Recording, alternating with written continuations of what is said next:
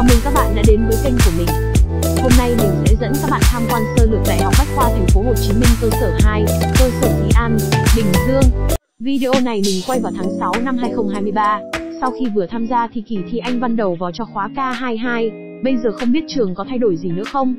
Có một điều chú ý cho các bạn chương trình đại trà K23 hoặc các khóa sau là trường mình có kỳ thi Anh văn đầu vào, cho các bạn năm nhất theo dạng để TOEIC 2 kỹ năng nghe đọc. Sau khi điền nguyện vọng trong thời gian rảnh các bạn có thể ôn luyện TOEIC, vì nếu đạt một ngưỡng nhất định thì sẽ được miễn học Anh văn 1 2 3 4 tại trường. Các bạn nhớ theo dõi các page chính thống, tìm hiểu trên website chính thức của trường để kịp thời có thông tin chính xác nhé.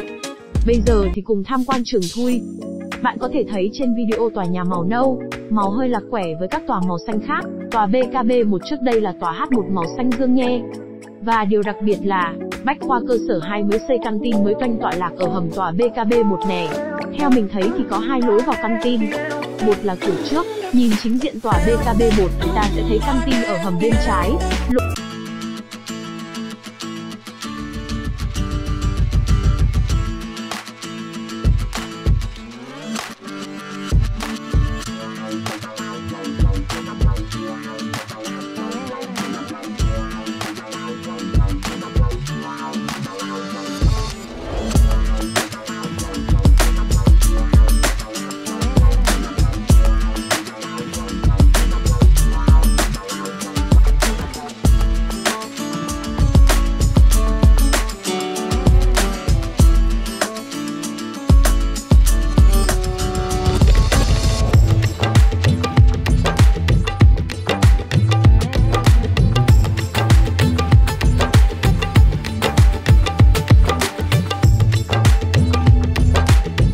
thôi nào BK cơ sở 2 có 4 tòa là BKB1, H1, H2, H3, H6, và có thêm nhà thi đấu thể thao đằng sau tòa H3.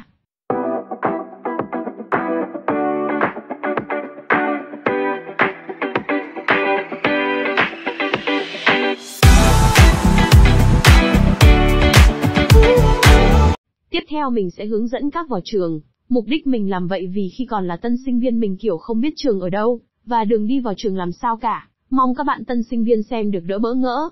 Mình lúc đó, đã dùng Google Maps bật định vị xoay hướng cái điện thoại khá lâu mới đi vô được trường. Có một kỷ niệm mắc cười là, tới lúc đi về mình bật GG Maps để di chuyển ra trạm xe buýt, thì GG Maps nó chỉ đi xuyên qua cái lùm cây. Mình kiểu thấy kỳ kỳ hoang mang đi tới đi lui, định dô cái lùm cây nữa chứ. Lúc đó H1 đang sửa, mấy chú thi công H1 thấy mình vậy, chú cũng nhìn mình hoang mang, mình tưởng tượng chắc mấy chú nghĩ nhỏ này, chắc đang bị ấm đầu do lúc đó là chưa nắng, a ha ha a a tự mình.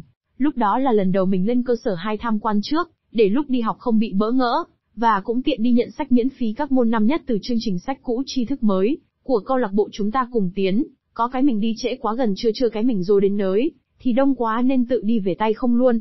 Với theo mình biết, thì năm nay câu lạc bộ chúng ta cùng tiến như cũng có tổ chức chương trình trên. Các bạn tân sinh viên có thể tham khảo nhé. Với nữa là các bạn có thể mua giáo trình tại cơ sở 1B10, hoặc cơ sở một dọc đường Tô Hiến thành phía ngoài trường nhé, hay cũng có thể mua ở cơ sở hai trước khu tự học, thư viện ở tòa BKB1 nhé. Kể chuyện hơi nhiều, giờ mình sẽ chỉ đường vào trường mình nè. Ở cơ sở 2 thì không có cổng trường, như các bạn thấy đối diện cổng ký túc xá khu A có một các lùm cây, lùm cây này là nơi mình luôn bước qua khi muốn vô trường A ha ha. Còn nếu bạn đi xe máy, thì tới đây bạn hãy đi thẳng xuống xíu nữa sẽ có chỗ gửi xe. Do mình không đi xe mà luôn đi buýt nên chưa quay được bãi giữ xe. Mình thấy nãy giờ kiểu mình review ngược he, kiểu như review thì trong ra ngoài. Tiếp theo mình xin giới thiệu trạm xe mình hay đi tới trường nè. Sẵn mình giới thiệu luôn một số chuyến xe buýt để tới cơ sở 2 nhé. Đầu tiên là chuyến số 50, 50 là chuyến nối liền cơ sở 1 và cơ sở 2 của trường. Đi 50 thì bạn không cần đi bộ từ trạm Dô đến trường, vì chuyến 50 có trạm ngay trong cơ sở 2.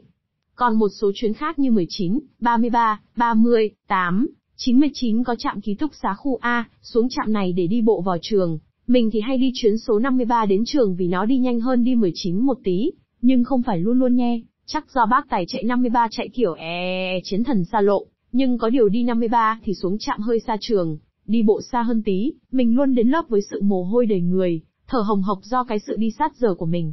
Mình đã dùng sức mạnh tinh thần điều khiển dùng đôi chân chạy hụt mạng đến trường, mình coi đây là cách rèn luyện thể chất, mình đùa thôi, các bạn đừng như mình. À hé các bạn có thể tải ứng Buýt Map kết hợp Google Maps, để đi buýt dễ dàng nhé. Đi buýt vừa tiết kiệm vừa bảo vệ môi trường. Hãy quan tâm nhiều hơn, thực hiện những hành động nhỏ như sử bình nước cá nhân, hạn chế sử dụng sản phẩm nhựa dùng một lần, trồng cây hay sống tiết kiệm để tạo nên môi trường xanh sạch đẹp. Đây là ý muốn của mình khi lập kênh.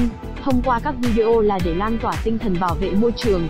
Và đến đây thì cũng kết thúc video review Đại học Bách khoa Thành phố Hồ Chí Minh cơ sở 2 của mình.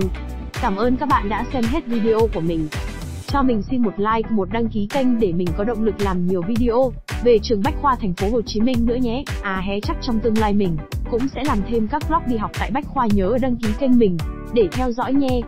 Và nếu các bạn thắc mắc gì thêm về trường, có thể để lại bình luận ở dưới, mình sẽ giải đáp trong hiểu biết của mình nhé. Và mình xin tạm biệt các bạn và hẹn các bạn ở các video sau.